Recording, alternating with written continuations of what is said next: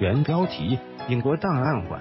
上世纪中期，中国建筑工人彩色组图，竟然有那么多女工人。建筑工地的工人挖土，JPG 建筑工地的工人相互张望，JPG 建筑工地上的男女建筑工人，JPG 建筑工人摆的架子，JPG 建筑工人在弄设架子，JPG 上世纪中期建筑工地一条狭窄的土隧道。